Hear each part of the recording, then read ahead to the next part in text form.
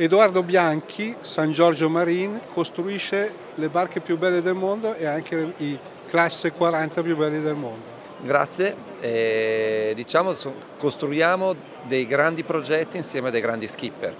La barca è un pezzo del progetto, la regata inizia in cantiere perché arrivano a ordinarle sempre in ritardo di corsa che bisogna morire per consegnarle e quindi iniziamo assieme a loro queste avventure che, che concludono loro poi in mare facendo dei grandi risultati. Grandi risultati però l'idea nasce anche da Ambrogio Beccaria e dai suoi amici. Sì, esatto, beh in effetti è vero, è, è nata un po' come una banda di amici e però appunto avevamo un po' questa forza così che ci trascinava di essere sicuri che stavamo facendo la cosa giusta o perlomeno non ci siamo posti molto il problema. E quindi il progetto Musa 40 è nato così, sì, insieme a Gianluca Guelfi e Fabio D'Angeli.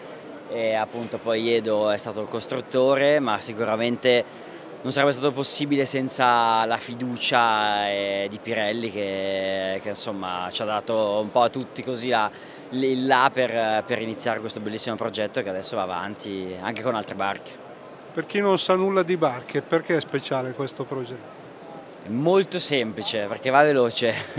va talmente veloce che c'è anche un grande navigatore e velista come Pietro Luciani che corre con i francesi, però il francese ha deciso di farsi la barca in Italia.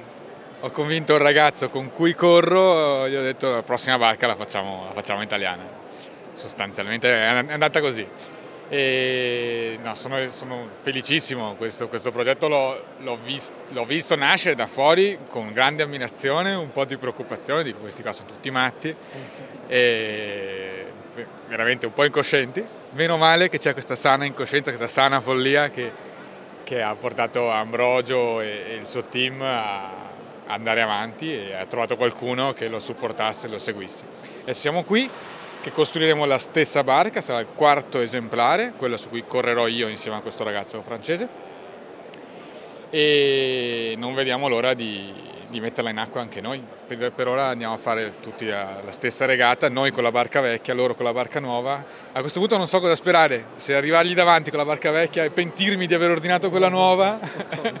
Però oltre a fare le regate tu sei anche amministratore della classe 40 che l'anno prossimo in Italia e nel Mediterraneo farà qualcosa in più di quello che sta già facendo. Sì, io sono vicepresidente della classe da, da tre anni, sono nel consiglio amministrazione della classe da cinque anni e eh, abbiamo, da, da, due anni, abbiamo, nel 2022 abbiamo lanciato la prima edizione del trofeo Class 40 Mediterraneo.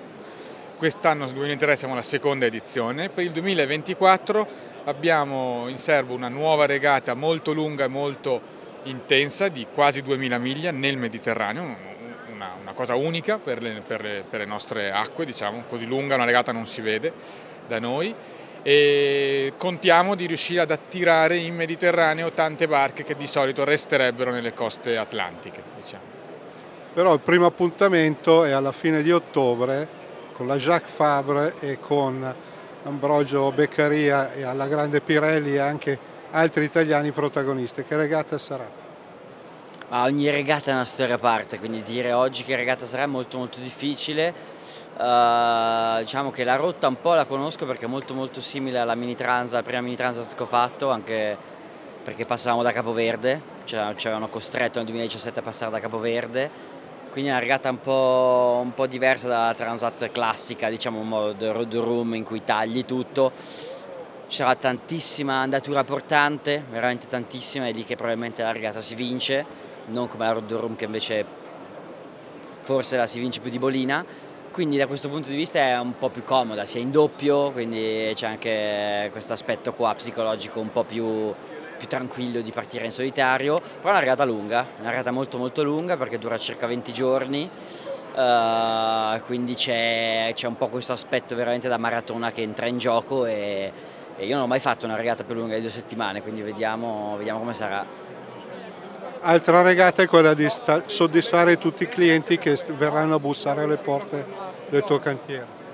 Siamo pronti, eh, per, ogni, per, ogni, skipper e cliente che arriva cerchiamo sempre di diciamo, customizzare un pochettino la barca attorno alle proprie esigenze. Quindi a dire il vero abbiamo il quarto Musa 40 ma ogni musa, ogni skipper ha messo un po' del suo all'interno della barca, quindi questa è anche la parte bella di avere a che fare con, eh, direttamente con gli skipper. Ultimissima domanda, perché Musa? Ah, Musa bisogna chiedere a Gianluca Guelfi, è lui che è il poeta del gruppo, credo per questo, lui è molto legato diciamo, alla cultura così umanistica da cui, così, da cui viene l'Italia, quindi Musa, credo che così insomma. Poi beh, in realtà tutte le altre barche iniziavano con la M, avevano quattro lettere, c'era Max, Mac, poi c'era un lift e lui voleva differenziarsi qualcosa di più italiano. Di, voilà. Ultimissima domanda che non si fa, pronostico? Pronostico vince Alberto Bona.